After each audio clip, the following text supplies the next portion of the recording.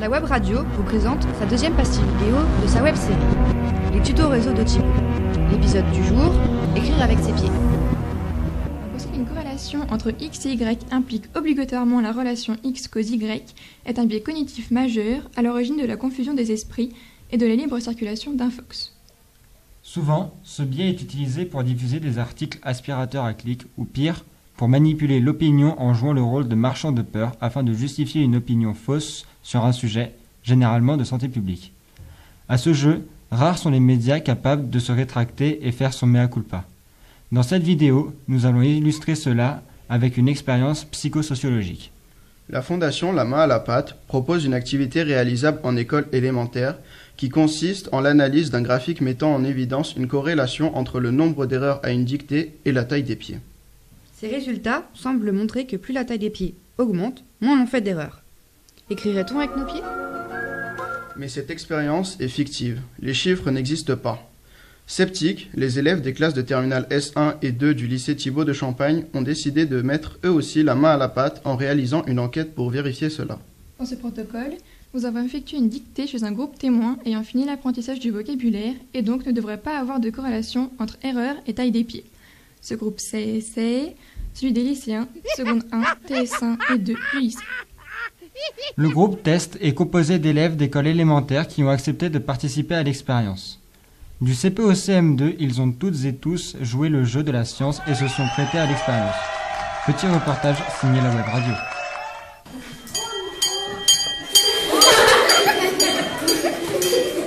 Alors oui, j'ai oublié de préciser, donc il y a F qui va circuler avec un micro, puisque dans notre lycée, on a une web radio, donc une petite radio, qui explique un peu tout ce qu'on fait dans le lycée, donc il faut enregistrer.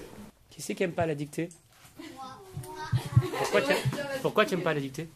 Parce que y a des- je me trompe tout le temps. Et toi? Pourquoi tu aimes pas la dictée? Parce que je me trompe tout le temps aussi.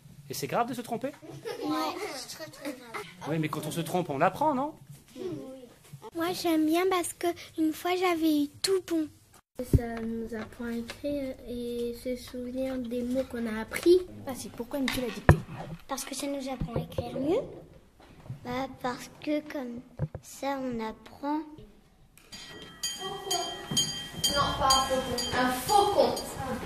Un faucon. L'animal, un faucon. Retrouve. Retrouve. Je continue. Un château. Un château. Ah oui, c'est ce qu'on a fait ce matin. Un château. Est-ce que vous pensez que, les gens- que ceux qui ont des petits pieds font plus de fautes que ceux qui ont des grands pieds? Parce qu'ils sont plus petits et les plus grands pieds, ils ont peut-être plus de qualité comme ils sont plus grands. Qu'ils ont des petits pieds, où...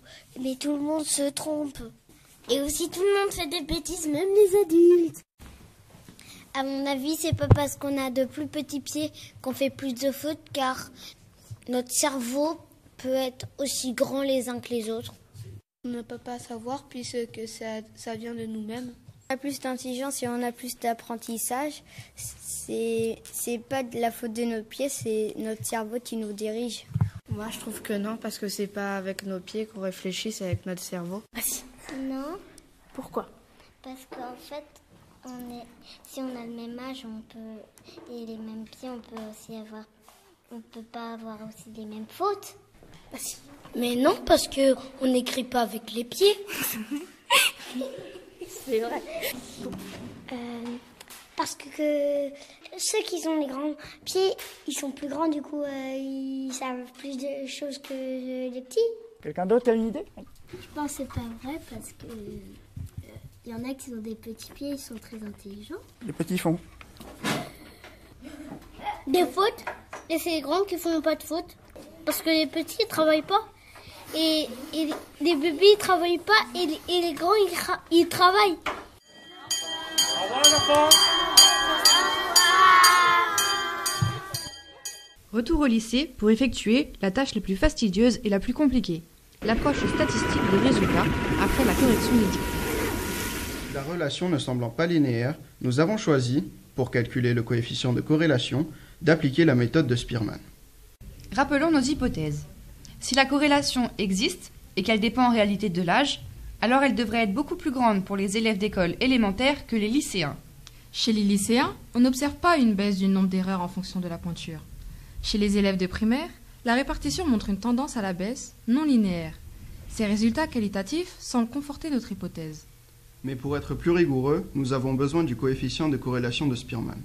Ce résultat est de moins 0,426. Si l'on se réfère à la grille d'indices, nous pouvons conclure à une corrélation moyenne à la limite d'une corrélation forte. De plus, avec un échantillon de 172 élèves, ces résultats sont assez significatifs. Donc, d'une manière générale, plus les enfants ont des grands pieds, moins ils font d'erreurs au dictées. Pourtant, nous n'écrivons pas avec nos pieds. Cet exemple permet d'illustrer qu'une corrélation ne signifie pas forcément relation et qu'elle peut cacher un facteur de confusion. Ici, c'est l'âge. Avec l'avancée dans les années, la croissance jouant son rôle, la taille des pieds augmente. Mais avec l'avancée des années, l'instruction jouant aussi son rôle, les enfants acquièrent du vocabulaire et font moins d'erreurs à la dictée. Pour comprendre l'origine de ce piège, intéressons-nous aux deux systèmes de fonctionnement de notre cerveau. Le système heuristique tout d'abord, qui est ultra rapide et qui propose des solutions impulsives, intuitives et efficaces dans la généralité des cas, mais qui peut être source d'erreurs et est exploité dans la propagation des infox. Le système algorithmique ensuite, qui est plus long mais qui donne accès à la pensée réfléchie, nous libère des erreurs issues de l'impulsivité de notre cerveau. Ainsi, pour raisonner de manière libre et logique, il faut résister à la première idée qui nous vient et prendre le temps de la réflexion. Méthode plus exigeante intellectuellement, mais plus fiable afin de rester éclairé. Revenons à notre exemple du début de la vidéo. L'avantage pour la santé de manger du bio serait non pas la différence en pesticides, mais que la catégorie de population consommatrice du bio développe une réflexion sur l'adoption d'un mode de vie sain, avec notamment une moindre consommation de viande qui est cancérigène. Donc la prochaine fois que vous verrez circuler un article avec un titre effet tambour sensationnaliste ou alarmant mettant en jeu des corrélations, résistez au raisonnement impulsif de votre cerveau.